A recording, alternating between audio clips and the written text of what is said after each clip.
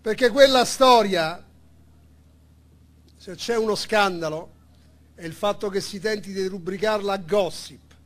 È tutt'altro che gossip la vicenda della casa di Monte Carlo. È sottrazione del patrimonio umano, morale, politico di una comunità.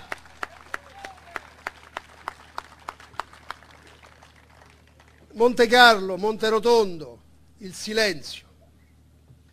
Io non so quali scempiaggini sta dicendo in questa stessa ora il Presidente della Camera a Mirabello. So solo che non può più tacere come ha fatto fino adesso. Noi abbiamo rivolto delle domande, abbiamo chiesto, abbiamo proposto anche un contraddittorio in diretta televisiva. D'altronde tu sei così bravo in televisione, io sono così rozzo, vinci tu. Tu sei così elegante, io no. Noi siamo brutti, sporchi e cattivi. Ce la puoi fare a giustificare. Ma ci vuoi spiegare, che so, visto che ci hai raccontato che eri stupito di aver saputo della presenza del Giovintulliani nella casa di Monte Carlo. Ci dici quando l'hai scoperto, in quale ora, in quale minuto, in quale nanosecondo lo hai preso a calci nel deretano per essersi permesso di aver fatto questa cosa?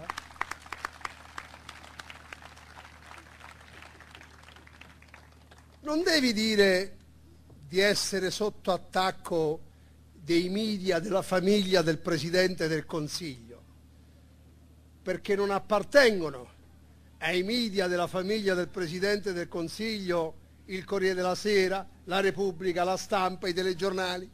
Tutto il mondo si è chiesto cosa era successo. Non ha risposto alla domanda di come mai ha scoperto la dimensione illiberale di Berlusconi solo 15 anni dopo averci convissuto insieme.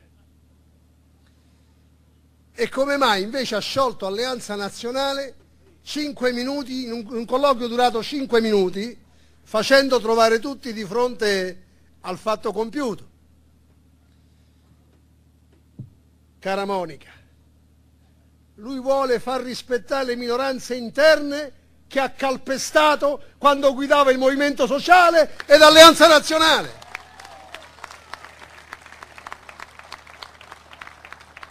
Fanno una battaglia di legalità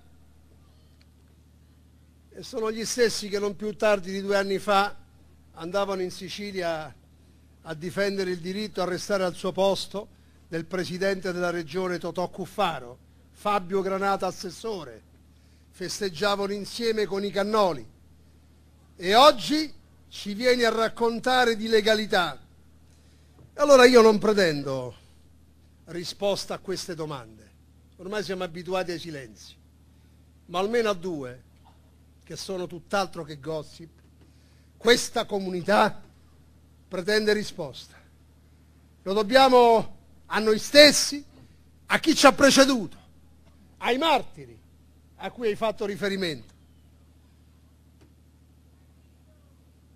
Perché un partito che riceve una donazione per la giusta battaglia. Una donazione che è ubicata a Monte Carlo. Posso capire, non ci fai una sezione con una casa a Monte Carlo, ci devi fare cassa, te lo dico con grande trasparenza. Ma perché anziché rivolgerti all'agenzia immobiliare sotto la direzione del partito, vai a cercare una società nelle Antille, nei paradisi fiscali, per andare a piazzare quell'appartamento. E perché, seconda domanda, tra 6 miliardi di uomini e donne della terra ci va a finire proprio tuo cognato.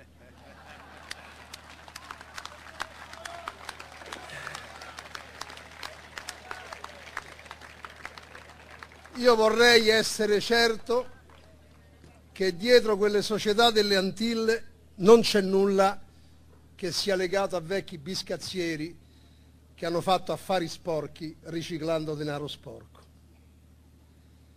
Fini si è lamentato, ha detto che ha subito un processo mediatico, tutto sommato è stato un processo breve, potremmo dire. Si è avvalso della facoltà di non rispondere, ha querelato i giornalisti che hanno scritto. Suggerirei al Presidente della Camera di abbandonare questo, questa volontà, perché quando tornerete nelle vostre case, lui deve sapere che ci sono almeno 2000 persone che sono passate in questa festa e hanno dichiarato la loro disponibilità, siccome siamo bravi su internet, a postare quegli articoli con le nostre firme e facciamo un bel maxi processo sulla casa di Montecarlo. Vogliamo fare questo, onorevole Fini? O vogliamo semplicemente raccontare la verità? In realtà la verità non la posso raccontare perché in piedi c'è ben altro disegno ed è quello che prende forma in queste ore dall'altra parte d'Italia sull'altra sponda del mare. Il disegno di un partito nuovo, con questo spietato gioco del cerino. Non sono io che me ne vado, sei tu che mi cacci. Cara Faenzi, io fossi Berlusconi li caccerei subito. Subito. E la gente capirebbe. Lo capisce anche dalla sigla del partito, FLI, Sembra il codice fiscale di Marco Follini. Fli. Le pensano tutte. Noi vorremmo semplicemente rivendicare quello che altri hanno abbandonato. Vedete, io spero che si possa arrivare a una collaborazione che qui è stata auspicata. Noi al nostro simbolo ci teniamo, per difendere il nostro simbolo abbiamo anche accettato l'espiazione, siamo usciti dal Parlamento per combattere una battaglia che non portasse mai a tradire il simbolo in cui abbiamo creduto. E io spero che ci possa essere questo percorso. Però una condizione, che nessuno ci chieda mai di svenderci. Essere di destra significa averlo il senso di giustizia. Essere di destra significa rifiutare la rassegnazione, non cedere a questa sorta di relativismo al quale ti devi inchinare ogni giorno. L'abbiamo visto che cosa voleva dire non essere di destra persino nei giorni drammatici e travagliati del caso Englaro, quando la vita poteva essere distrutta noi incitammo da fuori dal Parlamento il governo a farla la propria parte, a difendere quella vita. Ci indigna il relativismo che contagia la politica e la cultura. Ecco quello che non aveva capito il Presidente della Camera.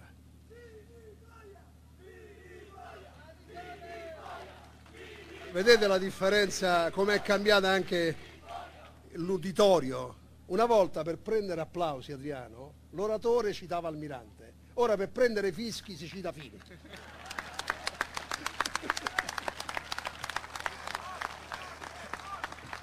Ebbene, qui nessuno chiede all'Italia di rimanere ancorata a un passato che non c'è più. È evidente che nessuno insegue il ghetto e nessuno lo chiedeva a quella che era la destra.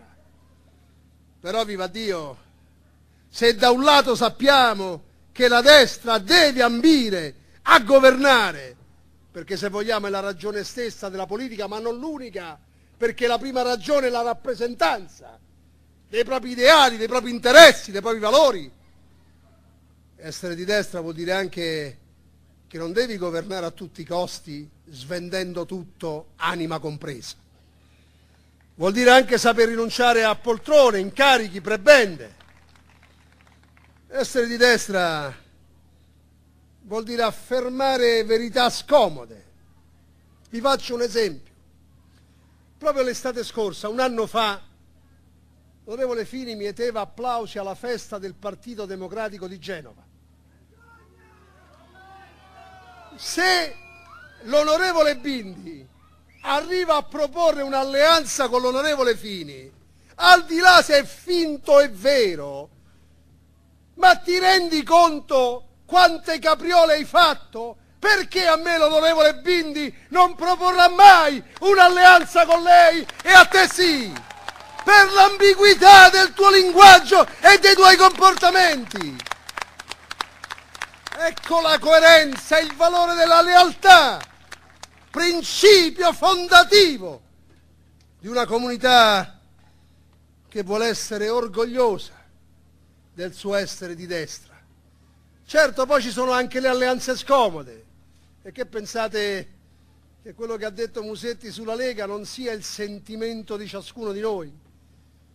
Eppure guardate, basta, essere, basta far favorire la Lega in un modo solo, ritirarsi dal gioco della politica e lasciargli campo aperto.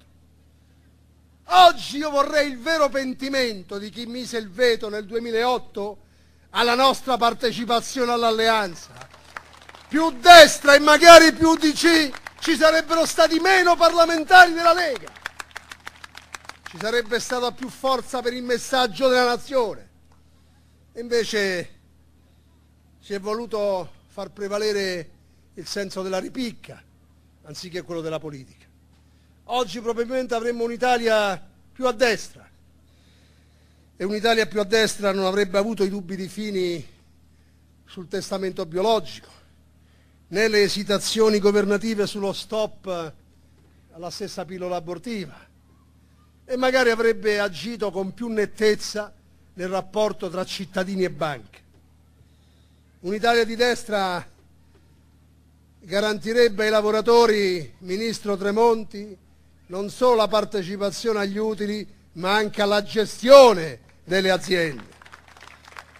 Non assisterebbe passivamente alla tragedia delle morti bianche e magari si scandalizzerebbe anche quando è un italiano a rimanere vittima per un reato commesso da uno straniero. Un'Italia di destra non avrebbe fatto silenzio di fronte alle compiacenze verso il colonnello Gheddafi. Avrebbe sbarrato ogni strada al solo tentativo di garantire il diritto di voto agli stranieri. Avrebbe preteso maggiore serietà. Ecco cosa è mancata.